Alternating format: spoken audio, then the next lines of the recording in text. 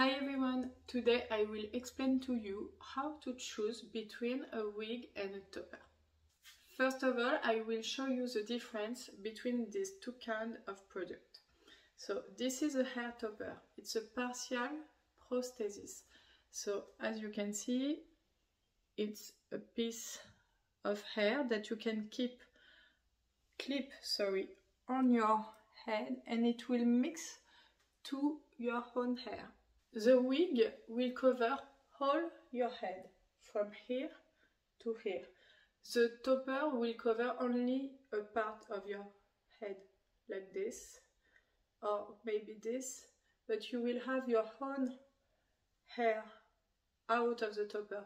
In the wig all your hair can be hide into the wig.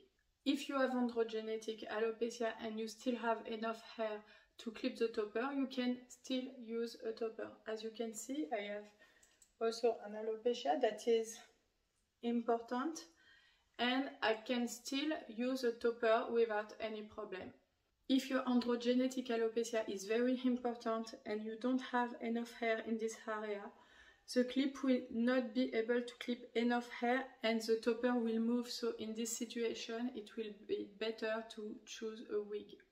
Also if you have trichotillomania and that you take off a lot of hair and that this area is without hair anymore, even if you have a lot here, sometimes I can see women that have a lot of hair here because they, they let some hair here to cover the head, but the whole head, this area is without hair anymore, it's better to use a wig because the topper will not clip enough, it will not be secure.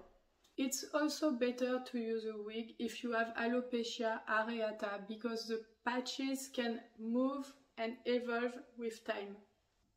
And if at the end, uh, six months later, uh, the patches are very big, it will be difficult to clip the topper so it's better for you maybe to buy directly a wig uh, compared to topper but sometimes I have some customers that has very little patches of alopecia areata so in this situation if you really don't want a wig because you are too afraid to begin with a wig it can it can be uh, you can choose a topper but you have to keep in mind that maybe it will evolve with time and may maybe in two years or three years you will need to buy a wig instead of a topper.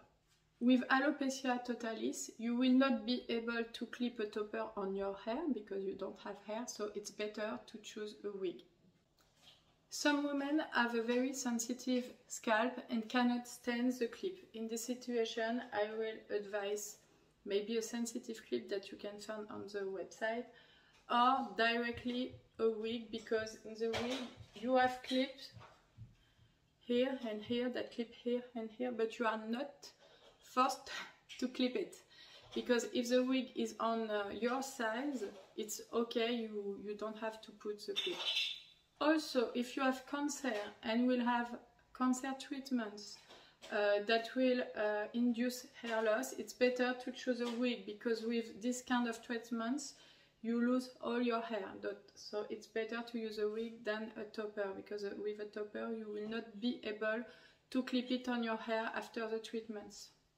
Last but not least, if you like hair volume, hair density, if you are just a hair addict, if you like to change your length, your hair color without uh, taking care of your own hair, the wig can be a perfect option. It's my situation. I really like to change my hair color. I don't want to uh, change uh, my real hair color because I will change every week so it will not be a good thing to do. so for this, the wig can be just perfect because easily you can change the color of your hair, the length, and it's a real pleasure. So if you are hair addict and you like topper, but you can also like wigs, it can be a good option too.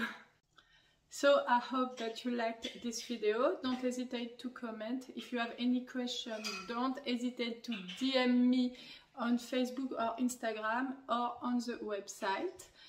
And uh, I see you next time in my next video.